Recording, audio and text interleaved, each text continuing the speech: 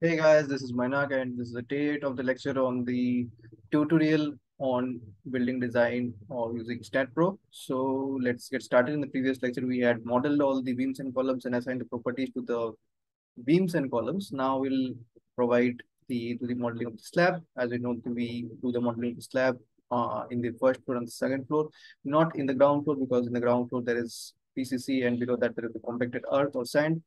So uh, we know that concept already discussed. So let's uh, provide the slab. The purpose is to, uh, as because the software automatically will calculate the dead load and provide it, and we don't have to consider the self uh, weight of the slab. Okay. So let's get started here. And uh, in this, uh, we'll just go forward in the front view. In the front view, we'll just take this particular level here, like like this, and we'll go here view and view and selected objects only and then we'll go to the top view here and uh, we'll start assigning the slabs here. So uh, for assigning the slabs, we can see uh, here we have the second option add four noded plates. So we'll you use the, this option exactly to add the four noded plates here. So one, two, and uh, three and uh, four. It's the one slab. One, uh, two, three, and four. One, two, three, and 4 here like this. We'll just uh, do the complete the remaining things. 4. We have to do this carefully so that there is no overlap or we do it in the correct way, right? 3 and 4. Okay, I hope I've done this correctly. 1, 2, 3 and 4. 1, 2, 3 and oh, also you should do it in a in a systematic way otherwise you will yourself forget which slab you have marked and which you have not. So that is also a matter. Two three and four. I'll do this. One two three and four. And this one this is landing portion right? The topmost portion of the slab. The slab staircase will come and meet here. This is the mid landing which you have not modeled. Okay so this one, two, three, and four. Again, one, two, three, and four. This portion of the staircase will leave blank this portion, obviously, for obvious reasons. And uh, we'll go here, go view whole structure. And uh, we'll go the topmost level here, uh, one view. Uh, normal cursor, select this view, selected objects only, top view, again uh, four noded plate, select two, three, and four, one, two, three, and four, one, two, three, and four, one, two, three, and four, one, two, three, and four. One, two, three, and four. One, two, three, four. One, two, three, and four. One, two, three, and four. One, two, three, and four. One, two, three, and four. One, two, three, and four. One, two, three, and four. So uh, now we can check whether everything is okay or not. Just uh, go to view and view whole structure. And after that, uh, just you can just uh, go to this uh, option of your this uh, pyramid. You'll see this is only selected, so this is only showing but just uh, click escape and then uh, then go to this option. You can see the uh, for rotating, you can use the mouse left click, right? Rotating and provide if anything is remaining, you will see into this. So this is perfectly modeled. Uh, the slabs are done. And now I can close this, right? So now you can say the modeling is done. And uh, after that, we'll provide go for the loadings. So uh, let's go to the ground floor or the plinth level uh, select the go to the front view, select the plinth level uh, view selected. objects only, top view, click outside. And uh, in here, we'll provide the uh, load here. Uh, I'll calculate the load approximately. The to show you wall thickness is 0.125, uh, okay, 5 inches wall into the uh, thickness. This uh, unit weight of the brick is 19 kilonewton per meter. Red brick is 19 kilonewton per meter cube. Unit of plaster is 20 kilonewton per meter cube. So it take 20, okay. And uh, the height of the wall is 3 meters and 3 meters minus 0.35. Uh, that is uh, for the, if you deduct for the portion for the beam, uh, 3 minus 0.35, it equals uh, your uh, 2.65. So into 2.65 will take, right? Okay, not this is into 2.65 and take, okay, we'll just consider this again, 0.125 uh, into 20 uh, into uh, 2.65. 2.65 or let's say 2.7. So it's 6.75. So we'll take a take seven uh, load uh, a load of seven kilonewtons to apply everywhere. So and on all the portions where you have the walls. So we'll go ahead and uh, select. Uh, uh, let's select this. Uh, uh, you know this loads here, loads and definitions. Just uh, click outside, save this. Save this, no problem in that. Uh, loads and definitions here, and in this loads and definitions, first of all, go and define the seismic load, right? So here seismic load will define as uh, IS 1893 2000 to 2005 and uh, click to generate. Uh, select by zone. This is in zone 5 of the earthquake. SMRF is okay. And general building important factor 1 is okay. Damping ratio 0.5% or 5%. This is actually point, since this is not a genuine software. So you have to do 0.05. Then it will come okay in the uh, output file 0.05 or 5%. In the original version, they, they don't need to do this, but you here you need to give 0.05, then it will come okay. So click on generate and uh, uh, this after click on generate here and then you click on add. So here uh, you can also take the self-weight uh, factor, add and uh, then close. Remaining things we will do by STAAD editor, right? So load case details and uh, you'll add the first load case and the first load case will be uh, your SLX seismic load in the extraction SLX and uh, click on add and then will be the uh, SLZ SLZ uh, click on add and then will be DL then click on add then will be LL and if you're adding the wind load, then you'll have to add the wind load as well. And that, that will be later. Or you can add start with the dead load, uh, live load, and then seismic load and uh, this uh, wind load. So that is uh, your choice. Hmm, okay, but this order also, no problem. Uh, then we'll uh, go to the dead load and click on this add here. And first of all, to add the load of the walls, uh, we have to first of all consider the self weight. Obviously, in the y direction, we'll add here self weight and in the load of the wall, we'll consider this minus 7 it's acting from top to bottom and click on add. And uh, first of all, this uh, self weight will just assign to view, assign and yes.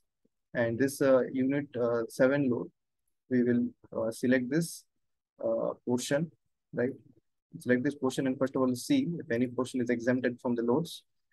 this is the ground floor plan as you can see, there is there will not be any wall here, so this portion is kind of exempted from the load. So uh, if you just uh, deselect this, shift and deselect. Okay, okay. Let's just uh, select this again like this. Control select this. Press Control and select this. Select this once again. Select this. Select this. And this like this and hopefully this portion is also selected should be selected and then uh, assign to selected beams assign and yes like this you can do this and after this uh, what we can do view uh, whole structure Let's uh, give the load to the next two levels as well. Uh, provide the same loads here in the next two level for the walls. So uh, going to the front view, select this uh, view selected objects only, uh, top view, and then uh, select all the things here and uh, let's see if the deselect option is there. Okay, deselect option are not there, but here every portion. We'll select this portion. Let's uh, select here. The walls will be there. Control and select this. And uh, this portion will definitely have load. This also will have the load. This also will have the load. This portion will not have. This one will have. This one will have. This one will have the walls here. And this one will not have any uh, load here. This one, this one staircase definitely. And we'll have landing also here, uh, but no walls. So let's give, it, give this to consider some load on the landing and uh, this one also let's provide this like this and uh, then assign to selected beams assign and yes uh, let's go to the next level view uh, whole structure and uh, then front view and then this topmost view and uh, go to view and uh, selected objects only and uh, top view again now in this portion we'll already provide the load of balcony for, for as calculate the load of balcony you can see uh, so height will keep as one meter, one meter into uh, wall uh, thickness we'll consider as five inch walls only. Uh, one, but let's consider 10 inch wall for safety. Okay, 0.25 uh, into and then uh, the 20 into 20. So it will be uh, around five. Uh, if you consider this 10 inch wall, uh, if you consider this uh, uh, five inch walls, then see uh, it will be uh, one meter into uh, 0.125 the thickness of the wall into your 20 it will be around 2.5 so let's consider 3 uh, for uh, the loads here so uh, um, go to dead load and click on add and uh, member load and uh, minus 3 right? 5 inch walls of parapet walls we're considering. And uh, select this and after selecting this uh, just uh, select the beams where we along the perimeter where we have the parapet walls for the slab. Have control selecting. This is easy. And select the parapet walls and uh, note that for the uh, okay just uh, provide them first and then we'll note whatever assign select beams assign and yes so after that uh, in the staircase portion where you have the actual staircase uh, you need to provide the load of the uh, 10 inch walls here not here this will be and ending here this portion actually. Actually, the wall will not be in this portion. It will be along the bit landing section. So let's uh, you know, consider this because we have not considered the cantilever. So here we need to actually uh, provide this assign to selected beams, assign, and then click on yes. So this is the load which has been provided. And uh, then we go for the live load. Live load uh, uh, we can provide, but dead load, one thing is remaining, that is the, uh, you know, floor finish load of one kilonewton per meter. So let's uh, first of all go to view and uh, select the whole structure here and uh, dead load and click on add. And uh, here we'll uh, go and uh, select this uh, uh, floor load. In the floor load, the pressure of minus one kilonewton per meter square and the X and Y range doesn't matter. On the Y range, we'll start above the level. So let's give here 2.8 uh, minimum so minimum will be 2.8 and the maximum will be, this is at 3 and this is at, uh, uh, this is at uh, 6. So uh, in this, there will be no floor finish load because there will no, no floor finish here. So only this, let's, uh, this portion we want. So here, but let's take this as well. Let's take this, okay. Maximum will be, let's say 6.1, okay. Then click on add and then close it live load also will be the same here and uh, you can add it from here or in the STAAD editor you can add. I'll add it in the editor okay? The plus control plus s and save the model and then you'll open the STAAD editor from here. First of all add the live load here. Uh, you can see uh, this is the live load from the floor load. Uh, you can see just uh, add this floor load. 1 minus 1 which you have added here. Live load we provide 2 kilonewton for residential building as per the IS code. And just uh, click this 2 and uh, save this and close the editor. And then you can see in the load case definitions here, the uh, live load is uh, already there and you can see the live load has been applied here like this. Okay, so no problem in that. And then you can just uh, go to your uh, STAAD editor itself, Control plus S. No, I've not changed anything, so I want to press Control plus S now. And uh, then we can go and assign the your seismic uh, load here. So seismic load considers the dead load and the live load, mainly the load of the wall and the load of the uh, you know this uh, live load. So member weight, uh, first of all, all the member weights which you have considered for the parapet wall and the main walls. First of all, select this member weights and uh, you can see the damping ratio is 0.05 self weight. Below this self weight, just add this here and make sure you make the change this thing to make the turn on the caps lock on W-E-I-G-H-T weight and uh, then uh, this uh, everything don't uh, change anything. Just uh, uh, just uh, make make sure you uh, just uh, change this uh, you know minus 7 and uh, gy right? Uni and I, and in this uni don't change this uni this also in this also. Control this change this uh, like this okay? And uh, you can check it first. First of all just save this and uh, close this. And if there is any error it will show here uh, now itself. And now you can see here this uh, thing self it is okay. And uni 7 and uni 3 uh, you have the loads here. And then again can can save the model. No change detect again. Just go to the STAAD editor and you can see now you, you take the ratio of the live load here. Now uh, let's take the live load here uh, from the floor load. Uh, you can see here this floor load y range you can see here control plus c okay? And then uh, you just go to the seismic load okay? Enter and then control plus b then make this as uh, weight w e i g h t in caps and uh, gy just uh, don't need this gy and uh, direction. Minus 2 we don't need. And now this is an interesting thing. Uh, whenever we are considering live load if it is 2 or less than 2 then it will consider 0.25 percent okay? 0.25 percent of the uh, load here. So it is uh, you know if you consider 0.25 percent of 2 into 0.25 into 2 it is 0.5 so this floor load will be taken as 0.5 right? This is given in the IS code 1893. Okay, if you find it, then okay. If you just no, don't find where it is written, if you comment below, I'll make a video and show you that. Okay, so this is done and uh, press the save button and then close it. And then again, just check here whether everything is okay or not in the dead load. In the dead load, everything is there. Y range live load is there. And then in the definitions, you can see now the member weight is there and the floor weight is also there. So uh, like this you can add or you can add directly from here also, right? Editor makes things a little bit easier for us. And in the seismic load, uh, just to go to the seismic load and in the seismic load, uh, click on uh, your add and uh, uh, here uh, in the seismic load, just uh, what we'll do, we'll go to this uh, okay,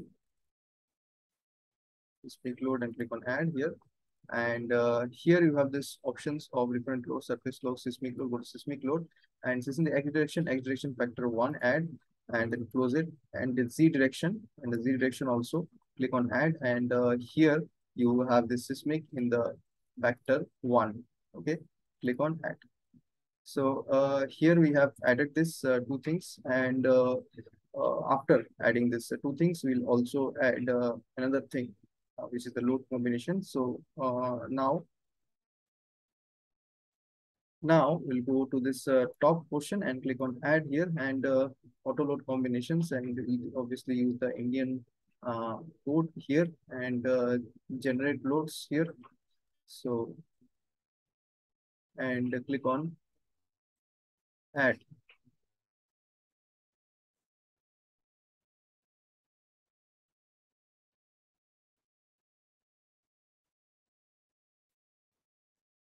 So we can see here these load combinations have been added. So it is 1.5 into load 3, load 4, and all the load combinations have been added here. You can see and edit the changes here. So you can see this uh, load combination as uh, 1.2 times and uh, this is uh, the factor is 1.2 and uh, into Li. So this all these load combinations you mentioned they take automatically here. And uh, then you can close this uh, file. And after that uh, the for the foundation design we have to create the unfactored load combination. There is no option for that. So we'll do it later the unfactored load combination. First of all just let's just see and go to our you can see we have done support we have done uh, you know this material obviously is concrete don't need to do anything. Support we have done uh, in this property we have assigned and then we'll go to design. And uh, in this design and we have this analysis print and general and geometry. So uh, in this uh, des design we'll uh, go and uh, select this concrete and then we'll select the our indian code here uh, because we're designing by this uh, code here concrete code um, is 456 select the parameters here and uh, take all these things. The compulsory things which you need uh, will I'll show you. Fc composite strength of concrete. Fy main press control and select fy main fy secondary mx main mx secondary. And then uh, um, minimum main and minimum secondary. And uh, and uh, then uh, you will find here okay let's take this first. One two three four five six seven things we have taken. And uh, anything else? Let's see if we need uh, we'll need a cover. Uh, let's see clear distance clear uh, clear cover this one. We'll need this. Okay. Uh, now click on OK. And uh, then commands also will need a design beam, uh, design column, take off for the material quantity, we'll find it from here. Design slab we don't need, we'll not assign it. And define parameters, we'll define the parameters. Clear cover, uh, 0.3 for beams, we'll take 0.3 meter for beams. And uh, point, uh, okay, 0.3 we have taken wrong actually, it is meters, it is 30 mm, so 0.03 we'll delete the thing earlier 0.03 and then another one is 0.04 uh, click on add and then fc composite strength m20 grade we're considering 20 then 1 to 3 zeros because this is in kilonewton per meter square click on add and then uh, fy main we are using 500 uh, mm uh, 550 now you're actually getting but 500 1 2 3 let's take and click on add and then fy secondary also it is 500 we're considering 500 1 2 3 and then click on add and then maximum main reinforcement let's uh, take 16 mm for now click on add uh, maximum secondary uh, we take let's take 10 mm for now click on add and then minimum main let's take uh, 8 mm add minimum secondary uh, minimum secondary also let's take 8 mm minimum main will be 12 mm i just made a mistake here so we'll correct it so this point three, first of all, let's uh, let me delete it. Let's see right click delete command. Uh, yes, and then uh, another mistake I made. Minimum main. This will be uh, right click edit command. This will be actually 12 mm. Modify. Okay. So uh, now uh, what we'll do, we'll just uh, click on design beam and uh, go to select and then select beams parallel to X and select beams parallel to uh, Z and then uh, assign to selected beams, assign and uh, yes. And then uh, we'll see click on design column, we'll select, go to select beams parallel to uh, Y and then assign and then yes. And then clear cover for the beams, select um, beams parallel to your X and select beams parallel to Z and then click on assign and then yes. And then clear cover for, for the column, select beams parallel to uh, Y and then click on assign and yes and uh, this will be your assigned to view assign and yes and this will also be your assigned to view assign and yes and this will be your assigned to view uh, 500,000 assign and yes all these remaining things will be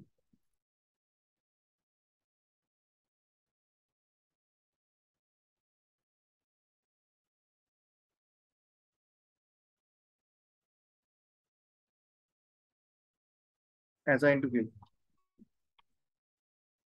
Then we'll go to analysis print and uh, analysis print all we can take static load and all we can click on add then close and uh, then uh, just go to analyze and run analysis and uh, save the model and run analysis. If there is an error there will be it will be shown and uh, you can see there is one error. You can stay view out of file and see what is the error.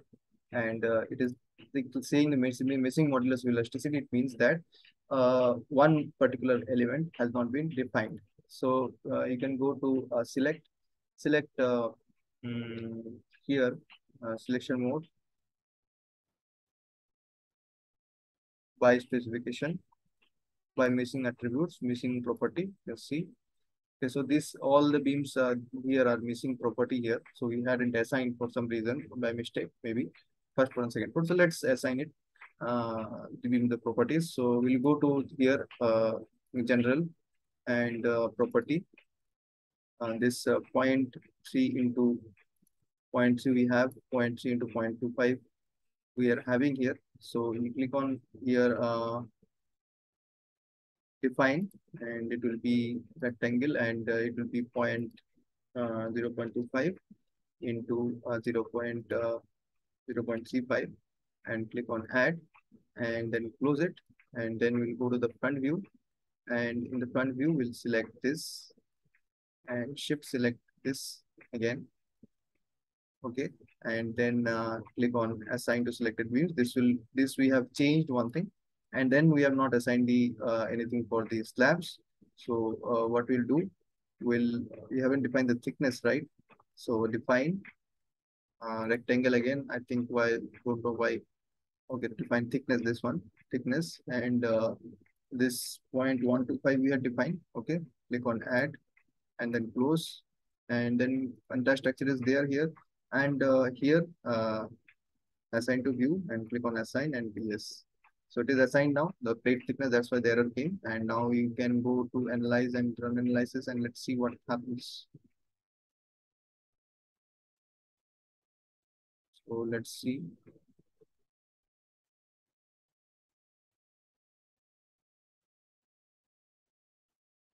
Okay this is this is done. Okay these two errors are okay. Warnings are okay. So so this is done. The design uh, has been done here. Let's check the design of columns. Let's see let's see this particular column here. Design complete design.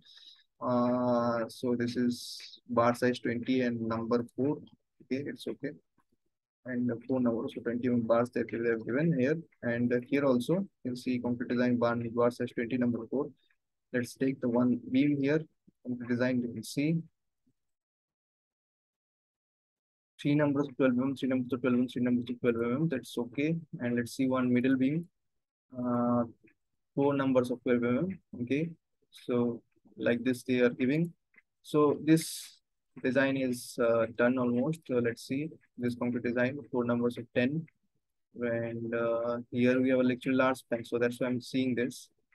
Uh, this is also two numbers 12 mm. So beam design and uh, this column design has been done here. The remaining thing is your uh, foundation design. So we'll do the foundation design as uh, well. So stay tuned and keep learning. Bye-bye.